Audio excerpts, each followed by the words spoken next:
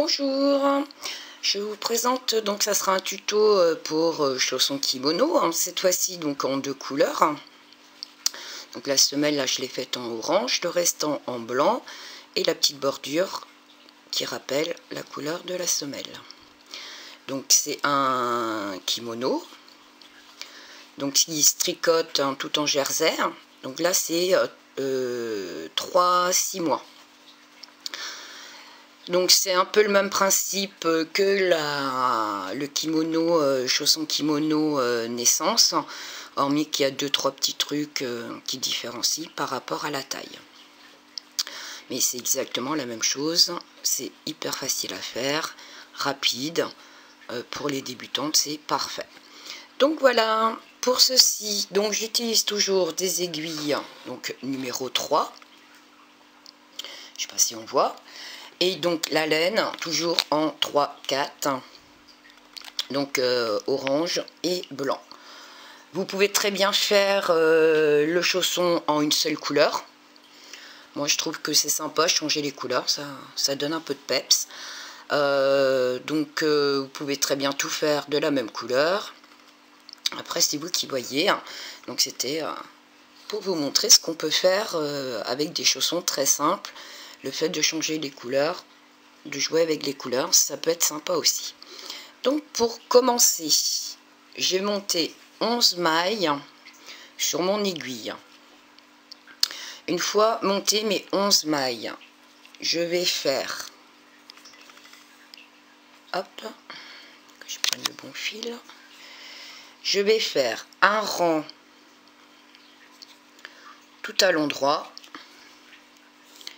donc un rang tout à l'endroit et un rang tout à l'envers. Et une fois qu'on aura fait ces deux rangs-là, on se retrouve. Donc un rang tout à l'endroit, puis un rang tout à l'envers. Et je vous dis à tout de suite.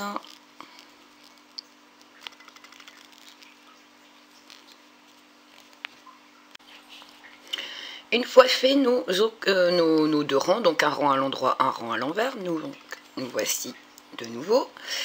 On va commencer à faire des augmentations.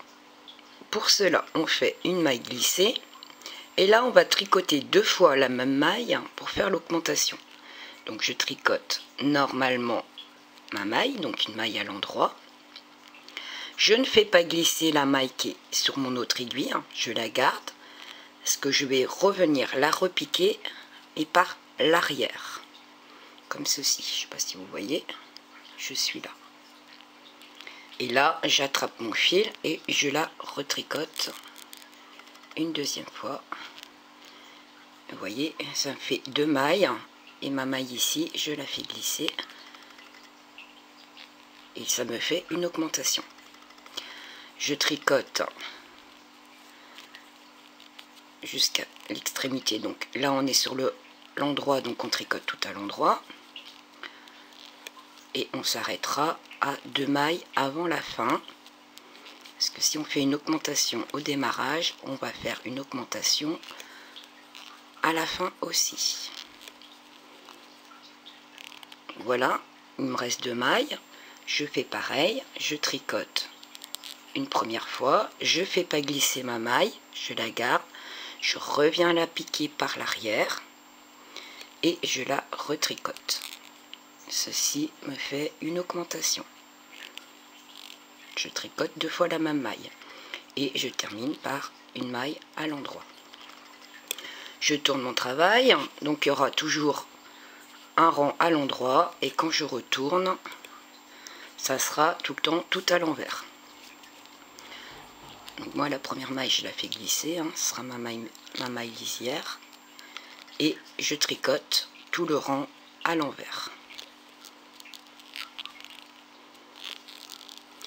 Donc les augmentations ou diminutions se fait toujours sur l'avant du travail à l'endroit. Et le rang qui suit tout à l'envers. Donc je ne vous montrerai pas tout le temps chaque fois le rang à l'envers. Là, je démarre, donc c'est pour vous montrer. Voilà, tout à l'envers. une fois qu'on a fait ça, on refait encore une augmentation. Donc une maille glissée. Donc deux fois la même maille.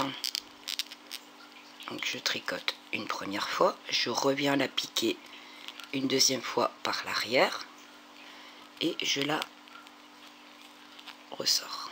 Ce qui me fait deux mailles et là je fais glisser ma maille. J'ai une augmentation. Donc on tricote tout à l'endroit en laissant deux mailles avant de terminer le rang pour faire une augmentation à la fin.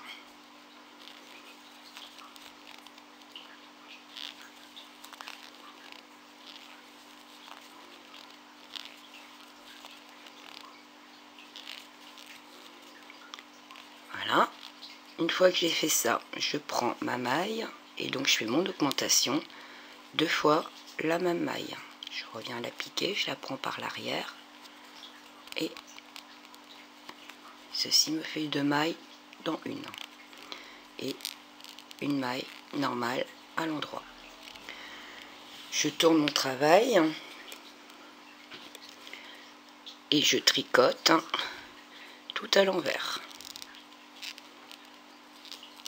Qu'on est à l'envers du travail, pour le jersey c'est un rang à l'endroit, un rang à l'envers et le rang tout à l'envers, on ne fait absolument rien, on tricote toutes les mailles comme elles se présentent.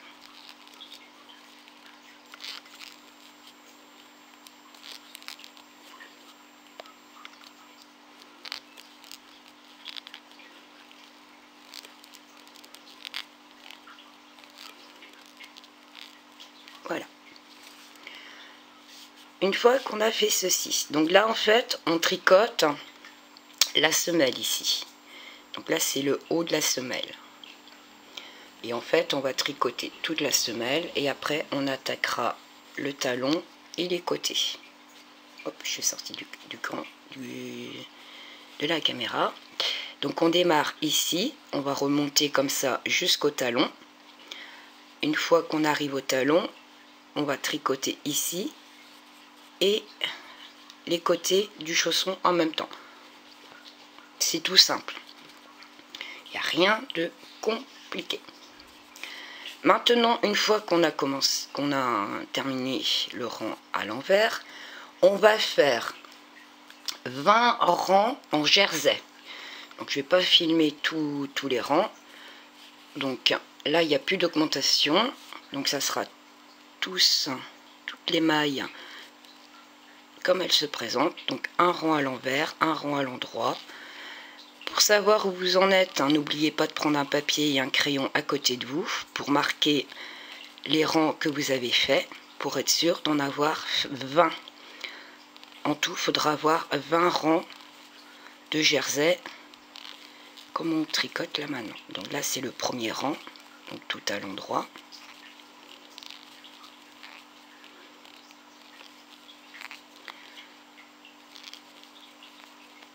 Premier rang deuxième rang tout à l'envers.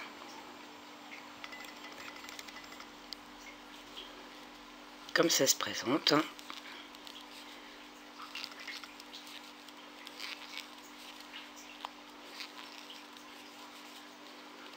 Tout à l'envers.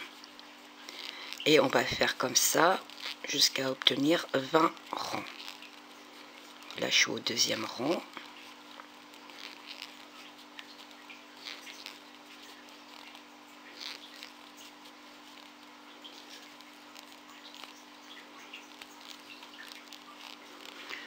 On se retrouve une fois fait les 20 rangs.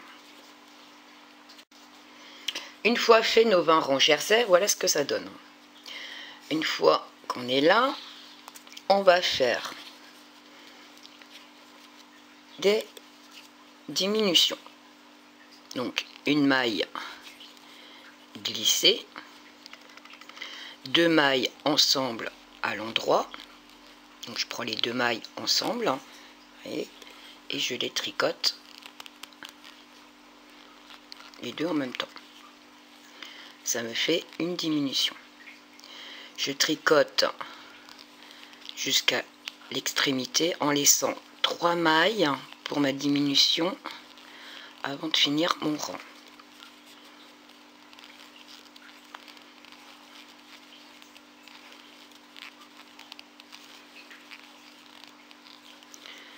Voilà, il me reste trois mailles. Je fais, j'en prends une, je la fais glisser. Je la tricote pas, je la fais juste glisser. La suivante, je la tricote. Et celle que je viens de faire glisser, qui est ici, je la passe par-dessus. Et ça me fait une diminution. Et ma dernière, je la tricote à l'endroit. Une fois qu'on a fait ça, donc on retourne le travail et on fait un rang tout à l'envers. Et on se retrouve une fois fini le rang tout à l'envers. Une fois fini le rang tout à l'envers, donc on va faire encore une diminution. Donc je vais glisser la première maille. Je prends les deux mailles suivantes, je les tricote ensemble. Donc je les prends ensemble et je les tricote. Ceci me permet d'avoir une diminution. Je tricote jusqu'à l'autre bout du rang en laissant trois mailles. Donc là on est sur l'endroit, donc on tricote à l'endroit.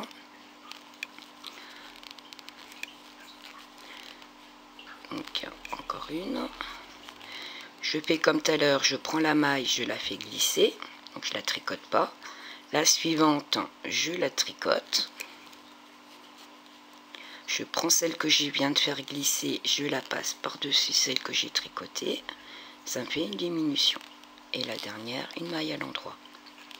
Je tourne mon travail et je fais le rang tout à l'envers. Et on se retrouve à la fin du rang tout à l'envers. Donc une fois qu'on a fini le rang tout à l'envers, là on va faire un rang à l'endroit, un rang à l'envers. Et on se retrouve une fois qu'on aura fait ces deux rangs. Donc là on fait rien, pas de diminution, rien. Donc un rang tout à l'endroit, puis un rang tout à l'envers. Et une fois que vous avez fait ces deux rangs, on se retrouve.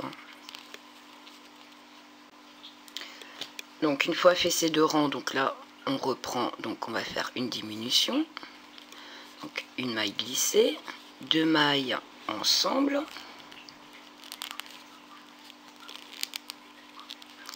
Une diminution.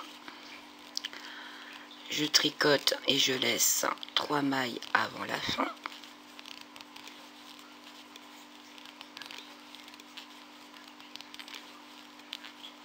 Je fais glisser la première maille je tricote la deuxième. Celle que j'ai glissée je la prends je la passe par dessus cela me fait une diminution et une maille normale. À partir de là on va faire un rajout de 20 mailles. Donc là par contre on a un changement de couleur. Donc je coupe mon fil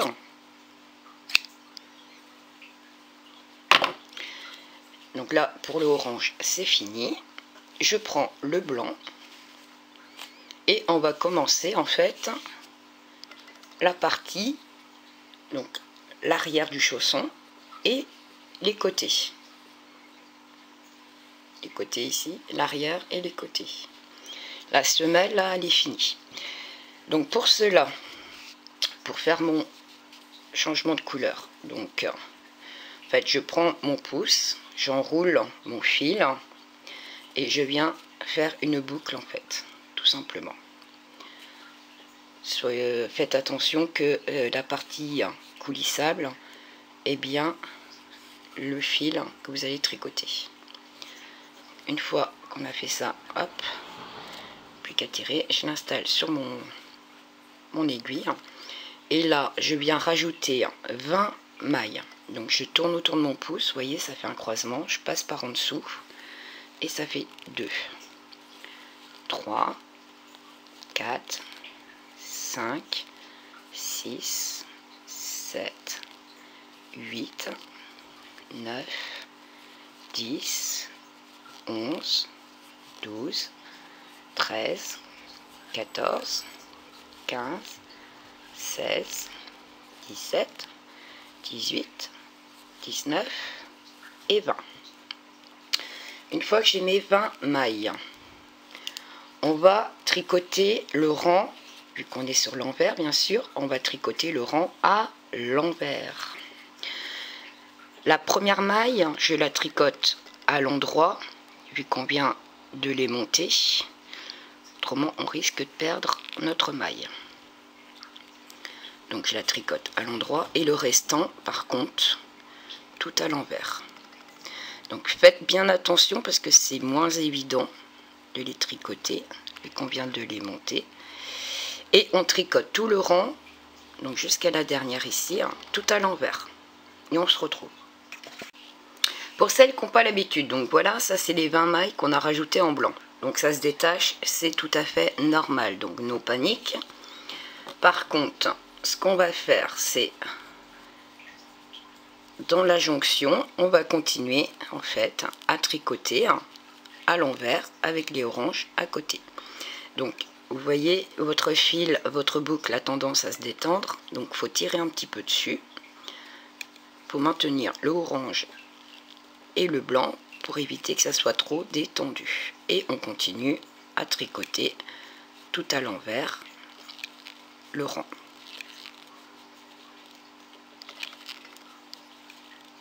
Simplement.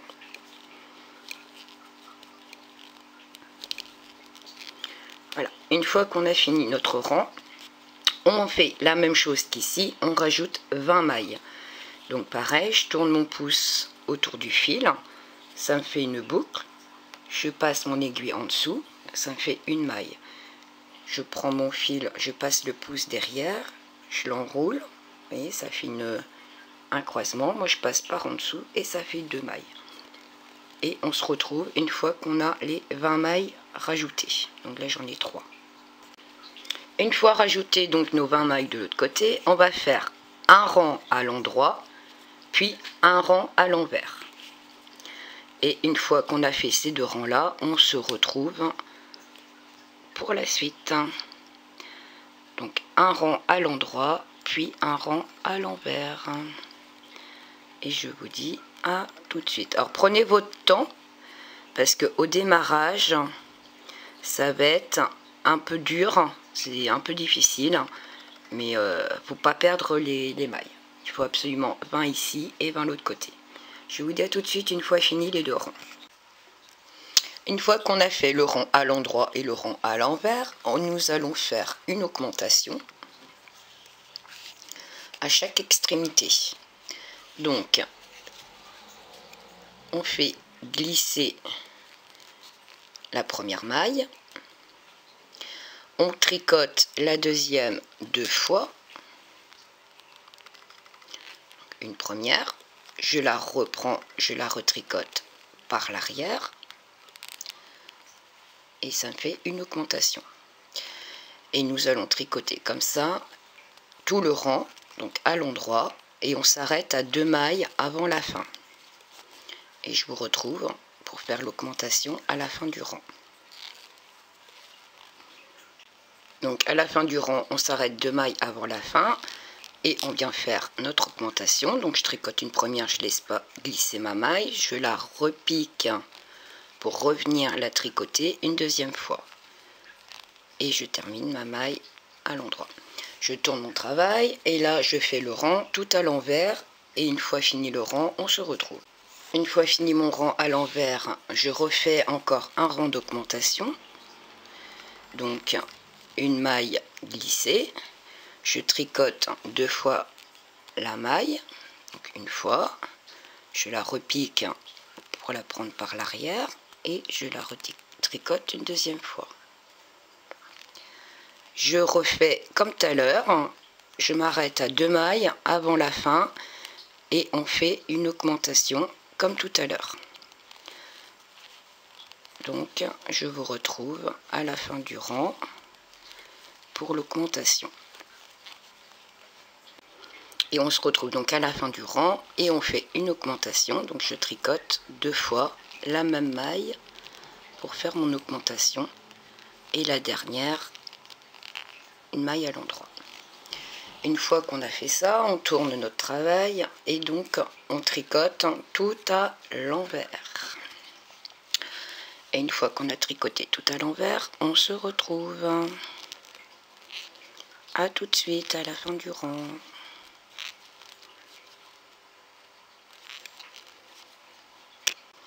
Maintenant, on va former ici le talon.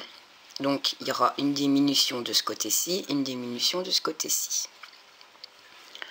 Donc, pour cela, on va tricoter 22 mailles, donc à l'endroit. Une,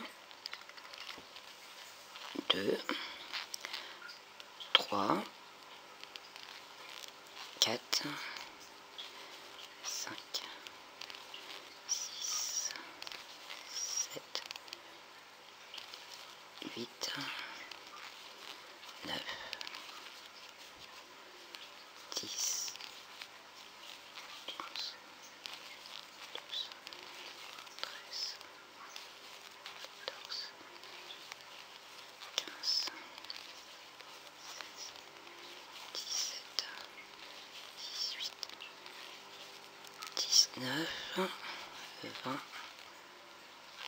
21 et 22. Une fois qu'on a tricoté nos veines de mailles, on va faire une diminution.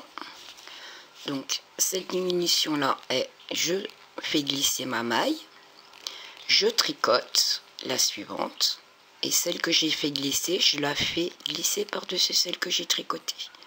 J'ai fait une diminution. Je vais tricoter maintenant 5 mailles. 1, 2, 3, 4 et 5.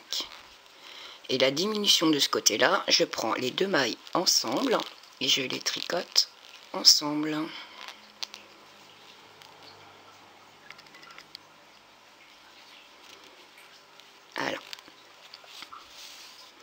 et vous continuez à tricoter les veines de mailles restantes de ce côté-là.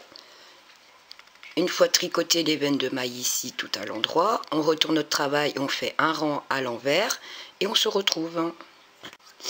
Une fois fini notre rang tout à l'envers, on repart sur 22 mailles. Donc une, deux, trois, quatre, 5, 6, 7, 8, 9, 10, 11, 12,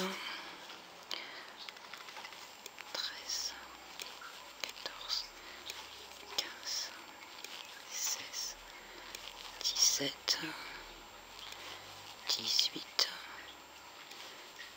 19, 20, 21 et 22. 22 mailles. Je recommence comme tout à l'heure, donc une maille glissée, une maille tricotée. La glissée, je la fais passer par-dessus celle qui est tricotée et ça me fait une diminution. Je tricote trois mailles individuelles, donc une, deux et trois. Et là, je prends les deux mailles qui suivent et je les tricote ensemble.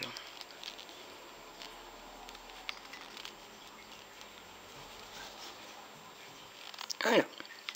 Et donc, je retricote 22 mailles restantes un rang tout à l'envers et on se retrouve.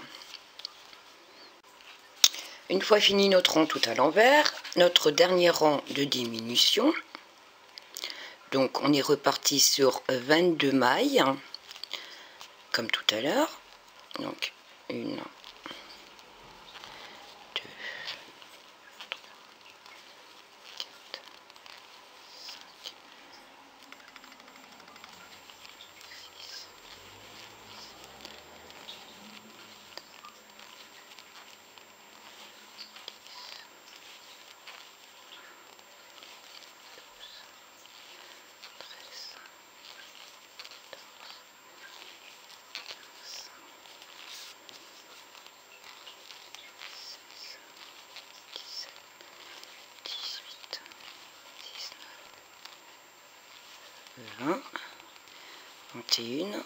Et 22.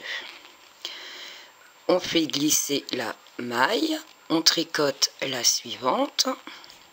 Celle qu'on a fait glisser, on passe par-dessus, ce qui nous fait une diminution. On tricote une maille et on prend les deux suivantes, on les tricote ensemble pour faire la diminution. Voilà ce qu'on obtient. Une fois fait ça, donc on tricote tout le restant à l'endroit et le rang à l'envers. Et on se retrouve. Une fois fini notre rang tout à l'envers, nous allons faire donc les diminutions au démarrage du rang et à la fin du rang. Donc pour le démarrage ici, on va faire une maille, deux mailles ensemble.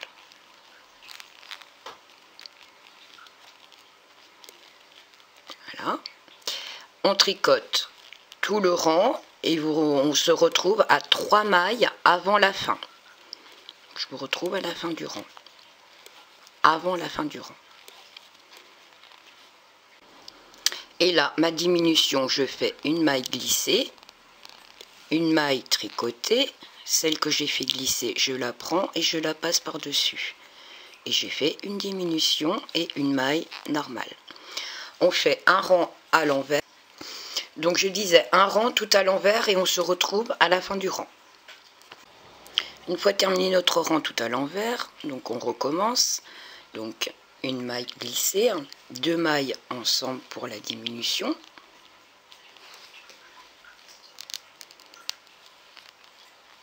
et on fait pareil à l'autre extrémité donc on vous se retrouve à la fin du rang pour faire la diminution 3 mailles avant la fin du rang à tout de suite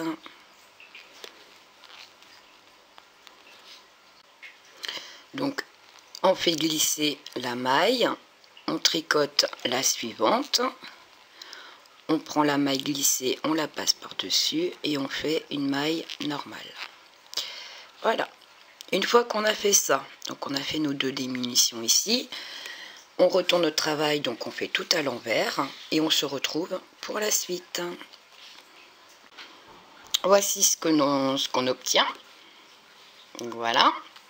Une fois qu'on est arrivé là, donc on coupe la laine parce qu'on va faire un changement de couleur. Donc là, on arrive sur la fin. C'est-à-dire qu'on va tricoter cette partie-là qui roulotte, qui donne son petit effet euh, super sympa. Donc pour ça, je reprends ma laine orange. Et là, je vais faire, alors je vais pas tout filmer, hein, je vais faire quatre rangs jersey. Donc un rang à l'endroit, un rang à l'envers, un rang à l'endroit, un rang à l'envers. Et après, je rabats toutes mes mailles. Donc je vous retrouve une fois euh, qu'on aura fait les 4 rangs jersey. Donc je vous dis à tout à l'heure. Donc déjà là, j'installe mon fil orange. Donc, et là, comme je suis sur l'endroit du travail, ça sera tout à l'endroit. Premier rang, tout à l'endroit. Donc on se retrouve une fois fait les 4 rangs en jersey. A tout à l'heure. Une fois qu'on a fait nos 4 rangs en jersey, donc on va rabattre toutes les mailles. Donc je tricote deux mailles, j'en prends une au plus loin pour passer par-dessus l'autre. Et j'ai rabattu. Et je fais comme ça tout du long pour rabattre mes mailles. Alors ne serrez pas trop, hein, parce qu'il faut que ça reste assez ample quand même, avoir une belle finition. Et une fois terminé de rabattre donc toutes les mailles, on se retrouve pour la couture. A tout de suite.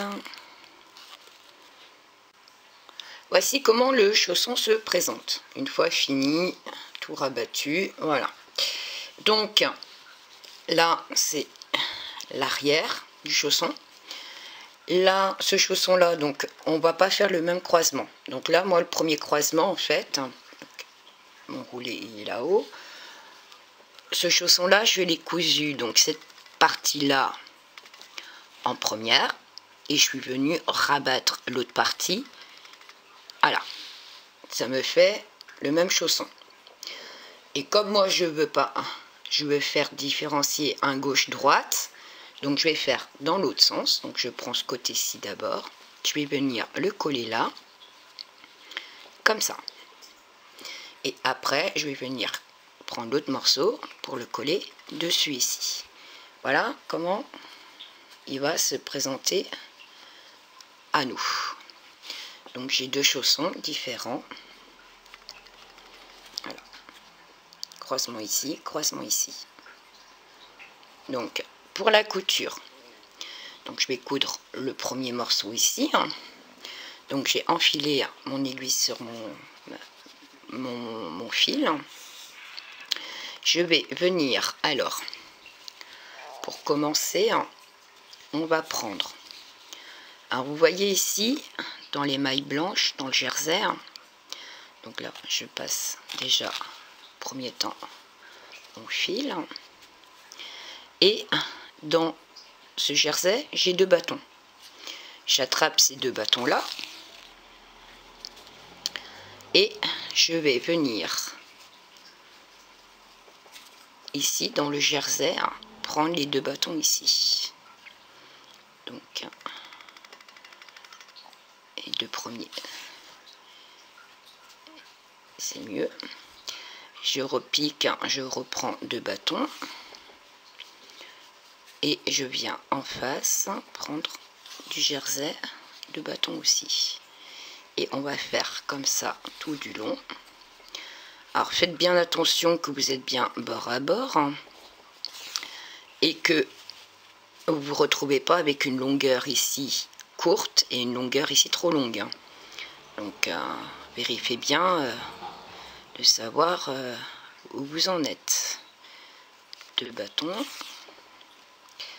et la couture elle va être cachée euh, j'aime bien cette couture là parce qu'on voit pas les euh, la couture fait une finition plus propre après si vous avez d'autres techniques hein, n'hésitez pas hein. il n'y a pas de de soucis hein. Moi, je vous montre juste comment je fais.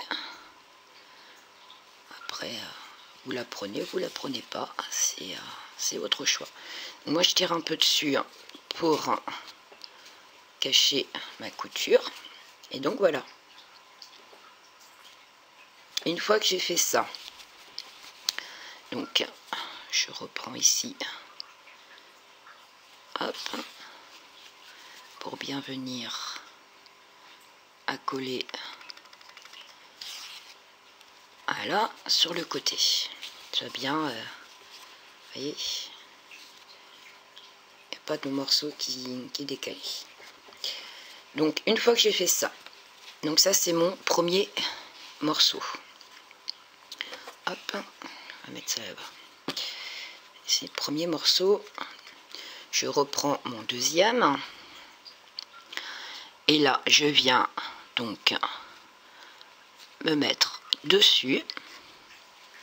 Et je vais refaire la même couture mais dans l'autre sens.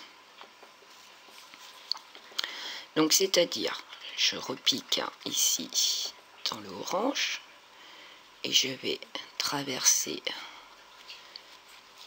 tout. Là je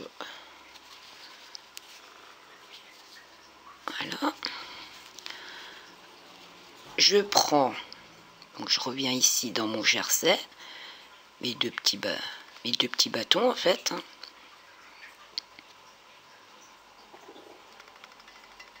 Hop. Pour venir camoufler. Et je reprends ici deux petits bâtons dans le blanc pour refaire une couture propre. Alors, faut essayer de rester, on va dire, dans l'alignement, ce qui est un peu plus euh, difficile. Mais normalement, c'est possible. Donc ici,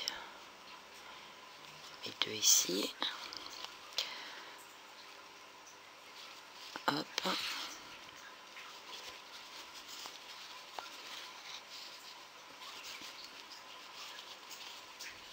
Moi, je tire un petit peu sur mon fil au fur et à mesure que j'avance. Hop.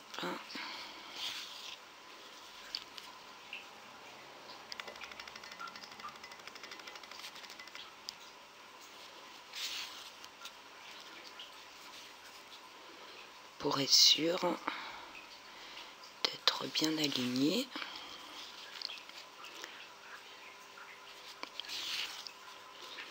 Et là, donc le petit orange ici, on va, on va bien le mettre. Et on remet bien le blanc par-dessus. Alors, je suis ici.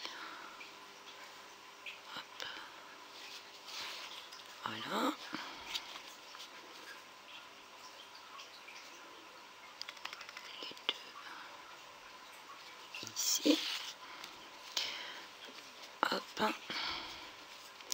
Et on va terminer par les deux.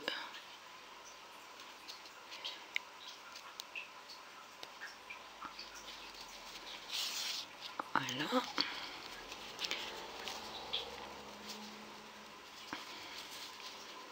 Et mes deux ici. Voilà la couture. Pour le devant du chausson. Ici, comme j'ai déjà mon, mon, mon aiguille sur mon fil, donc celui-là je le ramasse à l'intérieur, je continue la couture. Donc c'est-à-dire je recommence donc je repique ici je reprends le même système donc un deux petits bâtons.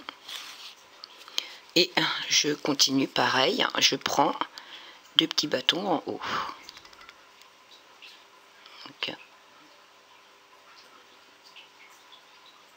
Voilà.